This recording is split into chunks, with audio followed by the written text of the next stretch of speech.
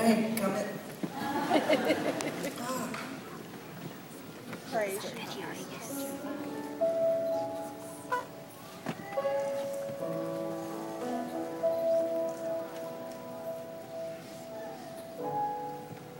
Last night we were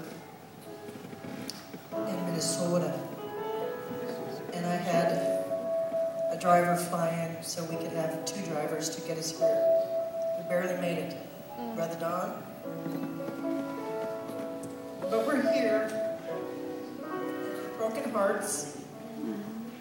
I sang this next song last night, and the audience um, was the biggest applause of the night It wasn't one of my songs.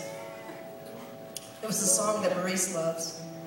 And he would have me come a thousand miles and sing a song that's not one of mine.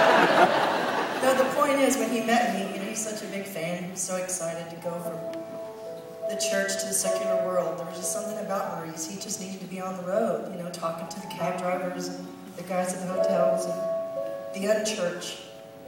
He knew he needed to go. And I gave him some liberties and remember the Mohawk, and he dyed it purple, blue. So we called him Blue Hawk.